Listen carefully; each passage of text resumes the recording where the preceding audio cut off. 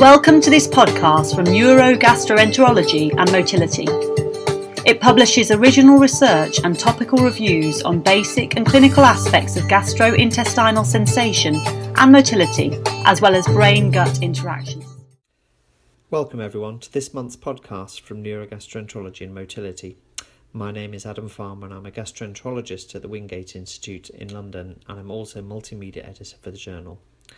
This month it's my pleasure to welcome Professor Michel Neunlist. Michel is head of the INSERM unit of enteric nervous system and brain gut disorders in Nantes in France.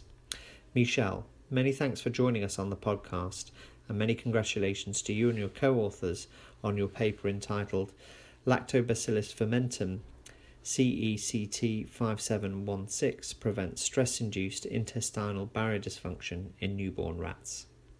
So, Michel, uh, what structural and functional changes happen in the GI tract in the neonatal period? Um, Adam, uh, thanks for this uh, invitation. So, what we have to, to think about the gut during the neonatal period is to remember its main mission, which is to basically at the birth to replace the role of the mother, that is uh, to nourish the organ and allow the development of the whole uh, body and uh, to do this, of course, all the function needed uh, to provide uh, nutrition, food, nutrients to the organ of the growing and evolving body uh, must be present. Uh, however, what is uh, very important to notice is that this neonatal period is characterized by the maturation, a global maturation of the gut, its structure and its function.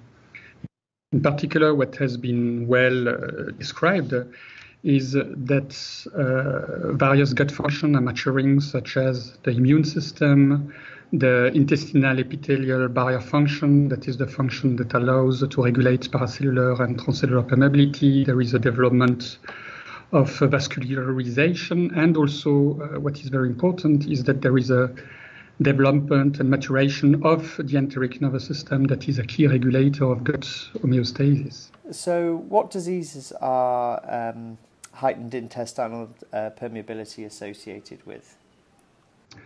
So first, maybe just a short definition of what we consider was we uh, understanding by intestinal permeability. I think we are focusing in this study on two major function of uh, the intestinal epithelial lining, that is the paracellular permeability, that is characterized by the permeability between uh, intestinal epithelial cells and also transcellular permeability that is characterized by the uptake of macromolecule by the intestinal uh, epithelial cells. And what is uh, increasingly recognized and know is that there is an increased uh, intestinal uh, permeability in many uh, chronic uh, diseases uh, in the adult, such as obesity, such as IBS, even in neurological disorders such as Parkinson's disease or autism.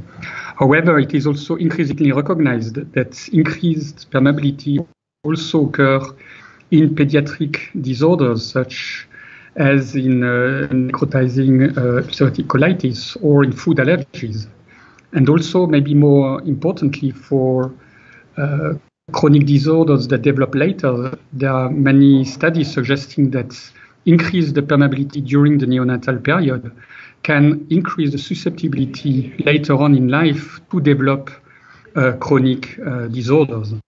Therefore, uh, approaches aimed at reinforcing barrier function, not only during the neonatal period in which uh, altered permeability occurs in disease that I mentioned previously, but also to prevent later on the development of chronic disorders is uh, of therapeutical interest, but also of preventive interest to prevent the development of later chronic disorders.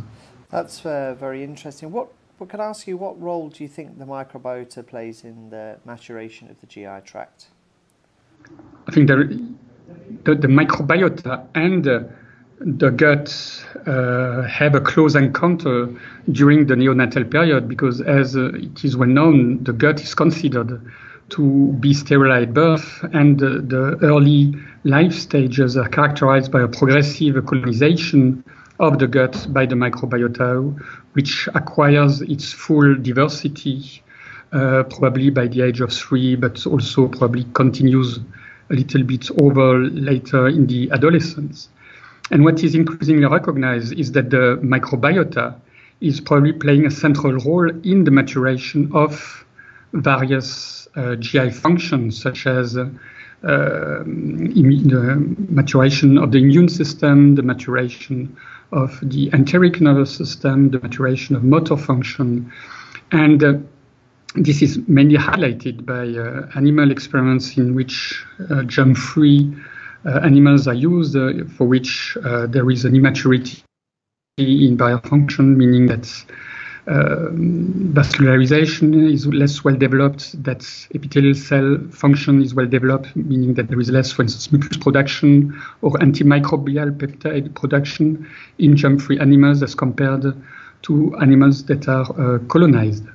And there are also very much interesting data in the neurogastroenterology field showing that the microbiota is probably a key factor that favors the development of the enteric nervous system, in particular enteric glial cells, or also the maturation of the development of and the acquisition of the neurochemical phenotype that ultimately will contribute in the maturation of gut function, not only motility, but also probably barrier function, and recently shown also in the maturation of the immune system. And there is also very interesting data showing that there are different means that microbiota is using to favor the maturation, for instance, of the enteric nervous system, meaning that the microbiota probably is producing metabolites of interest, such as short chain fatty acid, that can contribute, for instance, to the maturation of the enteric nervous system, or conversely, that direct components of the microbiota, such as uh, lipopolysaccharide, can also be detected by neurons via TLR2 or TLR4 receptors, and in this way also favor the development of the enteric nervous system, and particularly uh, contributes to the development of the number of neurons over uh, this uh, period. Can you tell me a little about uh, Lactobacillus fermentum CECT uh, 5716?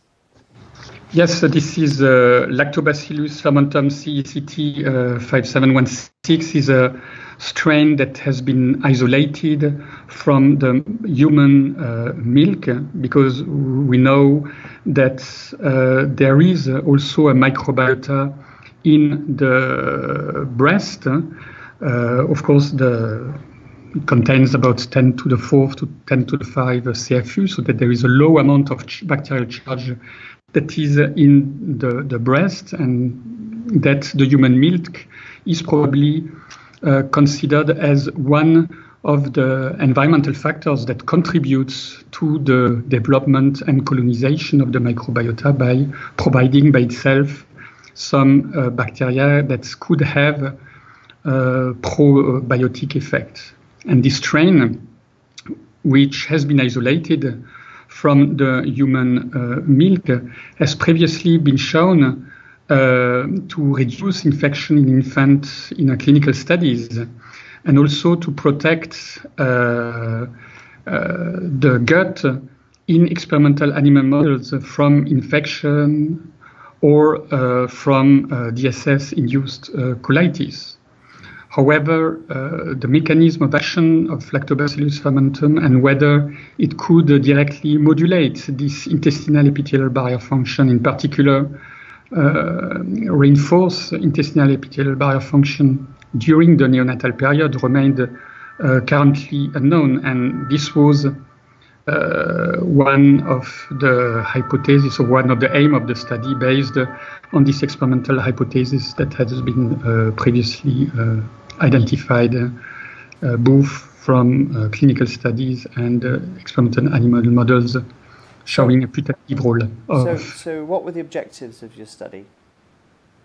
So the objectives of the studies uh, were uh, twofold, basically. Were first to show that uh, administration of this bacterial strain during the neonatal period Uh, could uh, modulate uh, barrier function and confer to this epithelial barrier, uh, enhanced protective response to stressors.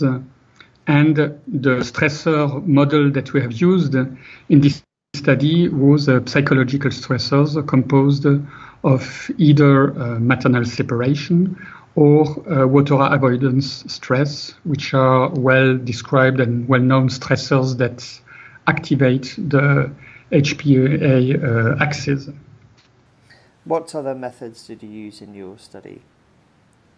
Uh, so the methods that were used were mainly uh, was a combination of uh, functional exploration in vivo and ex vivo of barrier function, meaning measuring uh, paracellular and transcellular permeability in vivo and paracellular and transcellular permeability ex vivo in specific organs of the gut, if one can say so, meaning in the ileum and in the colon and jejunum.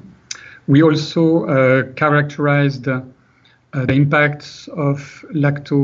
Uh, we also characterized the impact of lactobacillus fermentum uh, more on the mechanistic side upon permeability by measuring its influence on the expression of key tight junction protein in intestinal epithelium. So, what were the key results uh, from your study?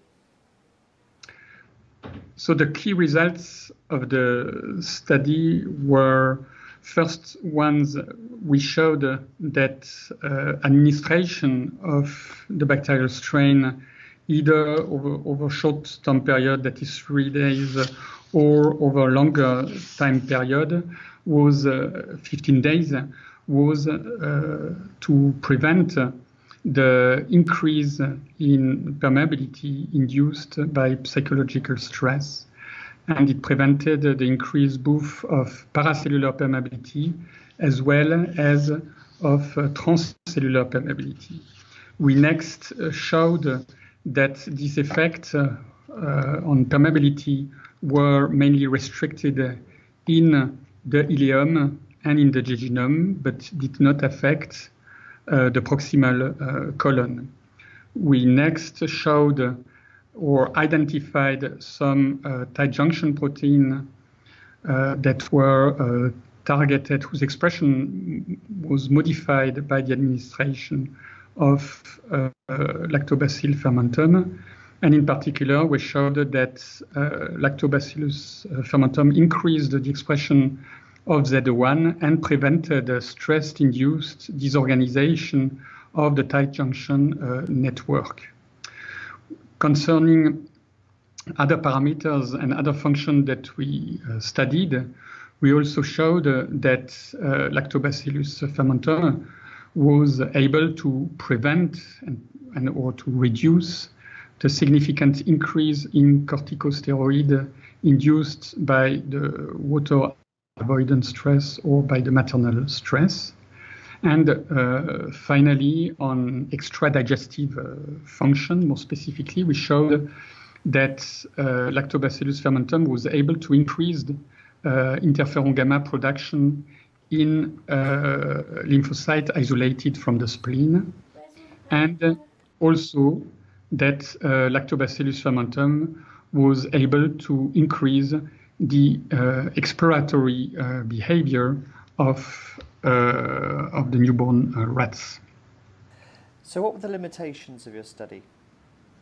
But the major limitation of the study is, of course, that this is a study that has been performed in uh, animal models. And one of the questions uh, that arises is whether if the effect observed in animal models can be transferred and uh, reproduced in humans.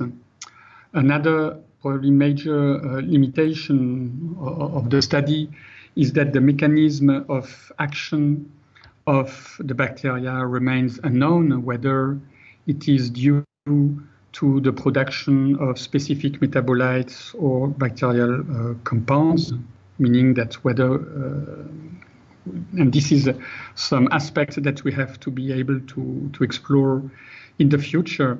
And also uh, the mechanism of modulation of the HPA axis by the bacteria uh, remains also uh, unknown and questionable. So, where do you think this probiotic and technology might be applicable in the future? I think if we try to extrapolate the animal study to the human, and since this bacteria has already be, been used in clinical trials, I think there is a possibility to extend, uh, to validate its uh, therapeutic uh, application in pathologies in which uh, barrier function has been uh, or is altered in the newborn, such as in, uh, in, in, the treatment or prevention of NEC. Also, it can be uh, considered to be used, for instance, in the treatment of uh, infant with uh, colic. And the idea is whether this bacteria strain can also be used for not only treating disorders of the newborn, but also of the adults could, where altered barrier function is also some major issue, uh, is a, question that can be uh, envisaged, uh, can be imagined for the, the future. So, uh, Michel, with that, I'd like to thank you and your co-authors for uh, an excellent paper this month and assisting in our, our podcast. I'd also like to thank our listeners for tuning in, and I look forward to welcoming you again on another instalment of the podcast uh, next month. Further information about this paper can be found on the journal website.